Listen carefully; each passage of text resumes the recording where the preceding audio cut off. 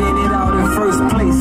It was easy though. Balenciaga track pants, high price ego flow. These niggas can't touch my high, even when I'm on the low. 50 pounds of gumbo, you would think I knew Luca himself. 100 pieces of hurt, cause I had to go big on myself. Niggas always play it safe, so just bet on yourself. I was broken out of myself. Took my time, found my work, then I just replaced myself. Invested time and passion, knew I could make it happen. I'm a legend telling my story, this is not just rapping. I dress to express how I feel, this is not just fashion. Told myself I'm great, then I compare my skills to niggas y'all say it's great. Then I see it's a piece of cake that I'ma eat. I can feast cause I'm a beast. Don't compare me to these rappers if they wasn't in these streets.